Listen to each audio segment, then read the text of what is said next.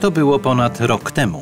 Pierwszy tysiąc rowerów czekał już na Młocinach na zamontowanie ostatnich stacji wypożyczalni. System warszawskiego roweru publicznego Veturillo ruszył zaczynając od 57 takich stacji.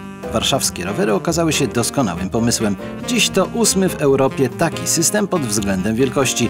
Ma 168 wypożyczalni i 2600 rowerów. W ciągu roku zarejestrowano 1,5 miliona wypożyczeń. Korzysta z nich ponad 130 tysięcy osób. Średnio dziennie rejestruje się 10 tysięcy wypożyczeń i ich ilość rośnie. Bo z roweru Warszawa jest jeszcze bliższa.